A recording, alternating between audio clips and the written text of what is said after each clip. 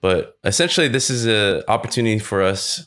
This is the Apprentice Club meeting. And this is something I want to do with you guys every week as an extra resource on top of like talking to your scholars. So, what I want to do with this club is like, man, let's focus these guys. Everyone has different discipline.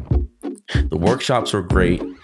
Uh, the, I, I would feel like they were more like alpha tests but I want to make this club officially pumping out curated jams. The Apprentice Club has artists, we have designers.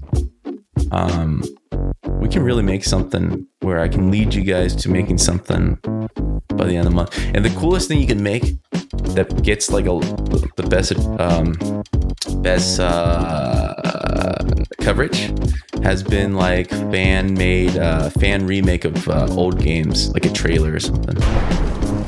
Right. Oh, so let's say we pick a PS1 game, PS2 game, and update it in Unreal. You know, do the sequencer, throw a little design in there, recreate the trailer. Right. With start small.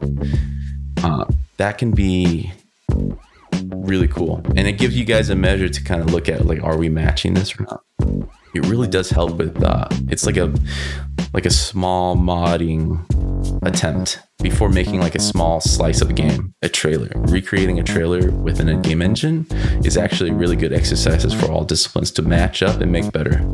So what i want you guys to think about and let's continue the conversation in discord.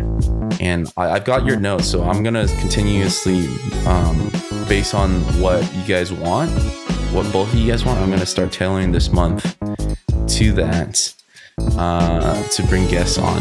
But what I want to do is start bringing guests on to critique your work on these game projects, these mini game projects. Just jam of the month, right? This is a this is an exclusive Apprentice Club jam, right? And it's it's strictly to to to recreate something